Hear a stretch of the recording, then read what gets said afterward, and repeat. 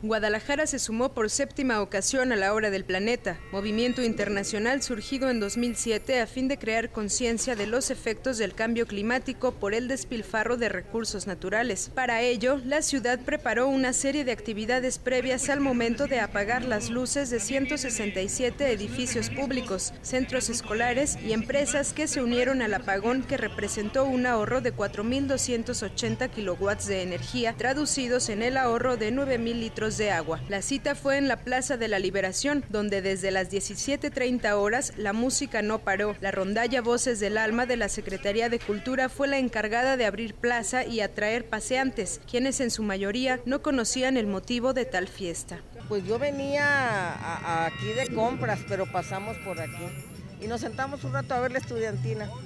No, no sé de qué se trata, pero sí está muy bonita el, eh, como toca la, la, la la ¿cómo se llama? Rondalla. La rondalla.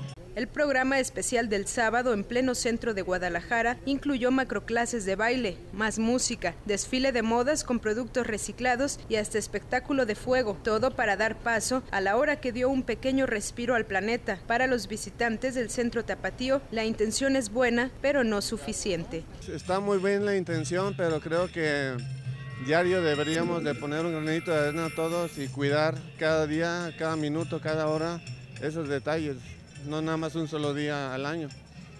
Estamos de acuerdo en casa en hacerlo. ¿También se suma en su casa? Claro que sí.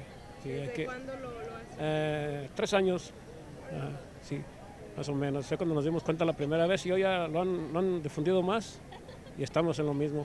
Más que nada tratar de apagar la luz lo más temprano posible, no usar tanta televisión cositas así, ¿verdad? que en casa puede hacerlo fácil. La hora pactada fue en punto de las 20.30 horas. La titular de la Secretaría de Medio Ambiente y Desarrollo Territorial en Jalisco, Magdalena Ruiz Mejía, fue la encargada de dar la cuenta regresiva que concluiría en dejar sin luz a emblemáticos edificios de la ciudad, aunque no todos se sumaron. Quedaron prendidos el Teatro de Gollado, las luces decorativas de las plazas públicas de zona centro y uno que otro foco en el Palacio de Gobierno. En Jalisco fueron 36 los municipios que apagaron sus luces. 50 ciudades del país también lo hicieron y en el mundo se habla de 150 países a oscuras durante la hora del planeta.